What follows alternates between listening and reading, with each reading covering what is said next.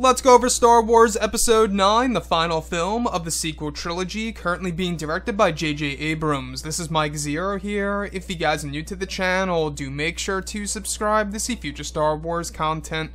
Now, as you all know, at the very end of The Last Jedi, we witnessed the death of Luke Skywalker as he disappeared into the sunset of Ahch-To and became one with the Force.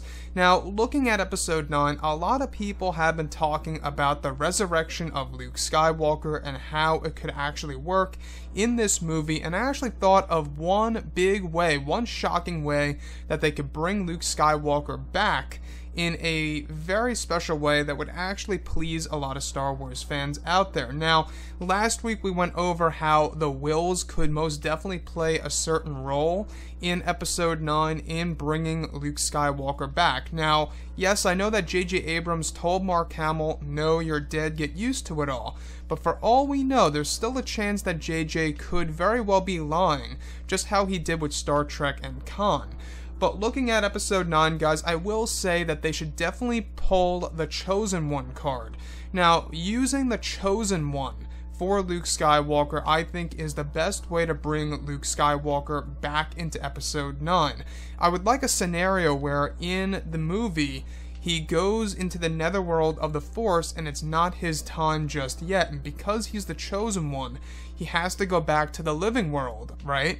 And helps out his friends and family in order to fight the big fight against the First Order and quite possibly even the return of Snoke.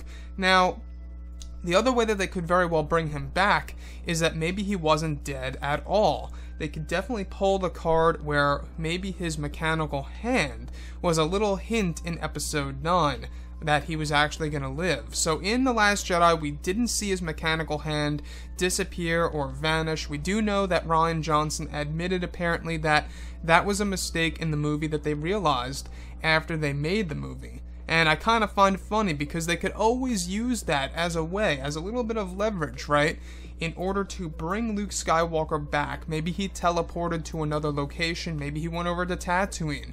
And what we saw, you know, the robes falling, it wasn't all of his clothing. Maybe, you know, as Luke Skywalker goes back to Tatooine or whatever planet it may be by teleportation, he still has the regular clothes on. Just the overall robe fell on the on the actual rock itself. Now, yes, I do know that in the Last Jedi novelization, it goes over the caretakers picking up his gloves and boots, indicating that he is in de- indeed dead for good, right then and there. But there are always ways that, you know, in films, they, they could always retcon these different things and kind of make things work.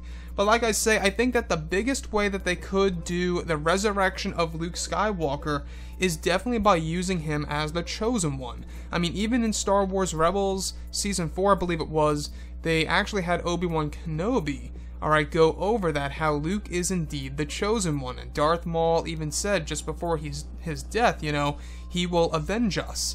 So I would love for them to use that card in episode 9 of essentially that he is the chosen one and that him being in the in the netherworld of the force is only temporary and that when you know a big event needs him or some kind of threat needs Luke Skywalker, he could come back at least temporarily. He could come back for some time, but ultimately he would have to go back to the netherworld. So I would like something like that.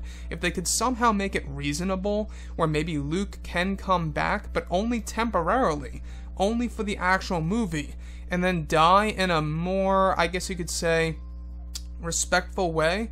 To me, I feel like that him dying by use of force projection, a lot of people were kind of calling it overdosing on the force or something like that. A lot of people were kind of making jokes about it. And I can see people's views on that because Luke Skywalker pulled that power off in the EU and Legends in Dark Empire. He was able to create a double of himself without even getting harmed or even dying at that. He was actually, you know, able to do that flawlessly and move on with his life. That's how I would have loved to see it in Star Wars The Last Jedi, where he's able to pull off that stunt and actually live right through it, and then maybe he goes up against Kylo Ren, and, you know, then they could have taken things from there into Episode 9.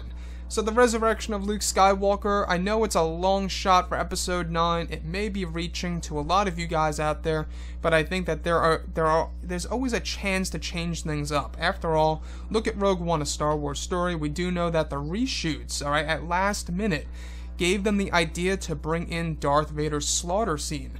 So you could always do this last minute. We have a lot of time until post production ends for episode 9. But, anyways, guys, drop a comment below. Let me know what you think about all of this in the comments. And if you guys did enjoy the content for today, do make sure to drop a thumbs up on this video to support the channel. I thank you all so very much for the kind support, and I'll catch you guys next time.